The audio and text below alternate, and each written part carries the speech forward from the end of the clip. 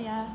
Um, I just wanted to say thank you uh, to CBC for welcoming me and my mum uh, for all these months. Um, it's been fantastic, and um, you've all been so welcoming, warm, um, and um, yeah, I can't thank you enough. So I just want to start my testimony. I could hear my mum saying, Jesus is the only way. Jesus will always be your Lord and Saviour. I wanted to know more, hear more. What does that mean? This is when CBC became a part of my life and when my journey started. Alpha, every Thursday evening, and this is when Christianity became more clearer. And the Bible became not just as a religious book, it was exciting.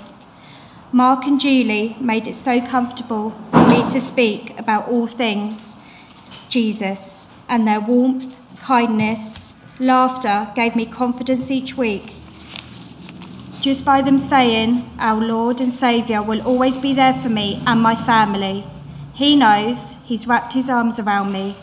This has stuck with me, and Mark and Julie, Chris, Kay, and the church family will always be a huge part of my journey in faith, and I'll always thank them.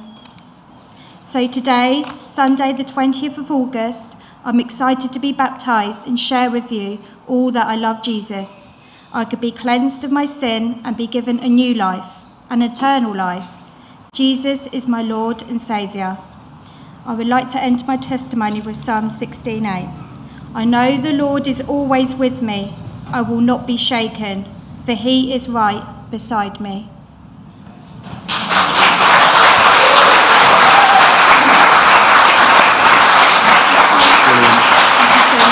Um, as Chris has explained, this is a bit like a funeral because um, Lauren has died to self and is risen now in Christ. Isn't that brilliant? That's a beautiful picture.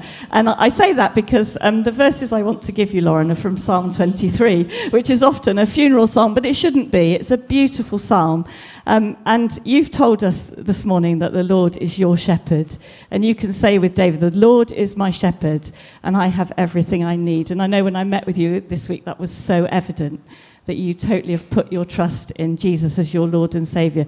But following on from your favourite song, I, it had to be this verse, didn't it? Surely your goodness and unfailing love will pursue me all the days of my life, and I will dwell in the house of the Lord forever.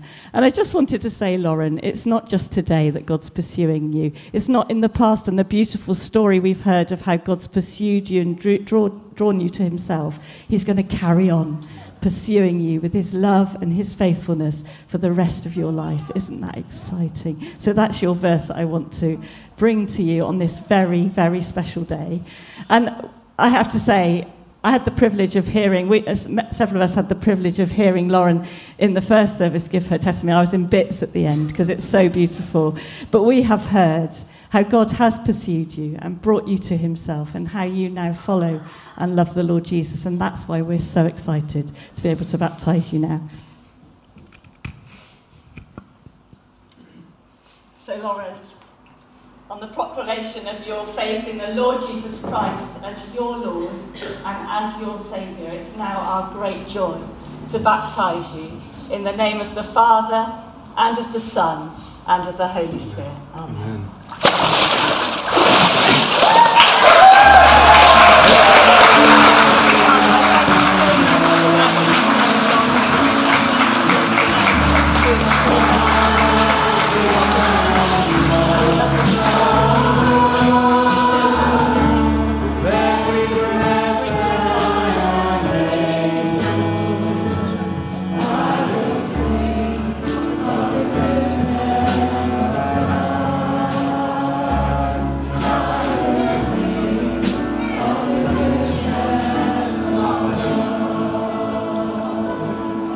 Give Lauren a big round of applause.